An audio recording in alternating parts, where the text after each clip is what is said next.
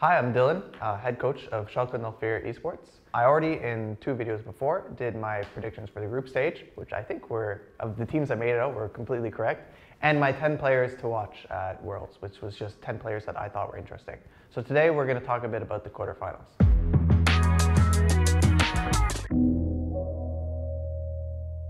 Um, the group stage, at least for me, went almost completely as I think most most experts expected to go.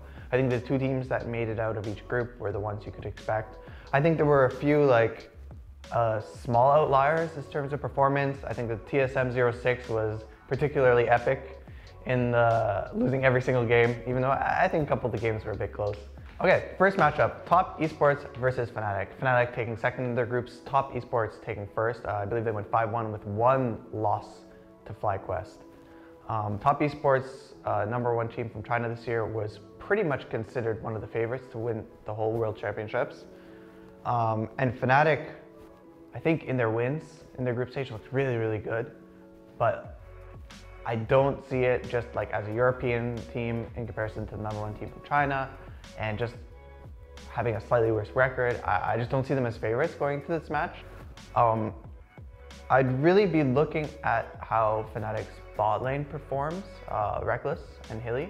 I think they played really, really well in the group space stage, especially in laning phase. Had games where like they're getting first blood level one, um, or hard winning their lane level one, level two, stuff like this.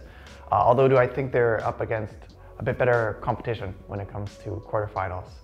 Um, I really would love them for them to win. Uh, I'd be cheering for them, but I'd have to go with, I'd say a 3-1 for top esports here. Ooh, Suning Gaming versus JDG um, is an interesting one uh, to me. Uh, battle of two Chinese teams.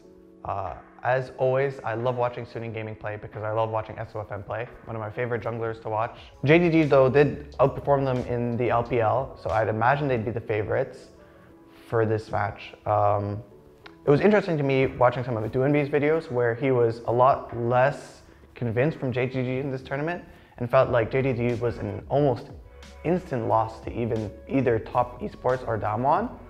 So although I'm gonna say uh, JDG wins this, I, I, don't know as much about the Chinese teams, but I, I'm gonna assume JDG just wins this off of being a theoretically stronger team. Uh, we can go with, I guess, 3-1. Um, I think they're probably not favorites to go deeper in the tournament. Okay, Gen versus G2, um, probably like the most important matchup if you're a fan of Western League of Legends and a match I think you should probably tune in to watch and everyone will be watching. Um, I think it's the biggest hope for the West is for G2 to win this match and go on a, like a deep run into the tournament. I think that Mikyx has had a really insane performance this tournament, like Hill is saying. Like his Bard was incredible and he's just playing so active and fearless on stage, which again, I think is one of like the benefits of uh, our European teams. Uh, I have to give benefit to G2 in these sort of clutch situations. So I'm gonna say G2 win this one 3-2 in, in a, a, real, real nail biter. Um, Damwon looks like the best team um, in the world. They were my favorites before this tournament. I thought they would win the World Championships. And then they go into group stage in 6-0. So Considering I thought they were going to win Worlds before the tournament even began, seeing them go 6-0, uh, I think they really handled Dragon X in the LCK finals. I think they will again. I think this one won't be close. I think Damwon with Showmaker have like the best mid jungle at the tournament, which I think is the most important.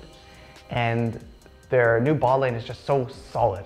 And I think it just makes like such an insane competition to have. So um, I expect them to win this match 3-0. And to me, it's pretty clear that Damwon is the favorite to win Worlds, and I would put top esports uh, slightly behind.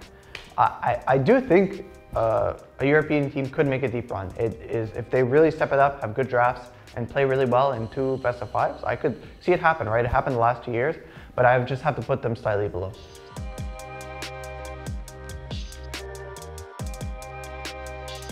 So these were my predictions for quarterfinals. Uh, I'll be cheering for the European teams, of course, and can't wait to see what happens. Uh, thanks for watching. Uh, any feedback is appreciated, and I'll see you guys after quarterfinals.